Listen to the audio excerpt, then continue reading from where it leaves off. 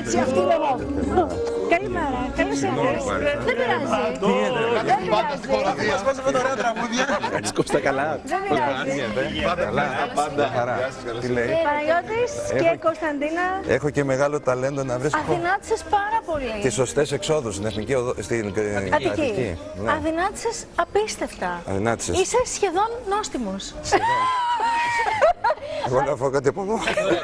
Άρχισα να κο- Είσαι σχεδόν νόστιμος. Σχεδόν. Ναι. Ε, εντάξει, καλά είναι. Όχι, Κώστα, Έχει είσαι προοπτική πάρα αυτό. πολύ ωραίος. Μπράβο.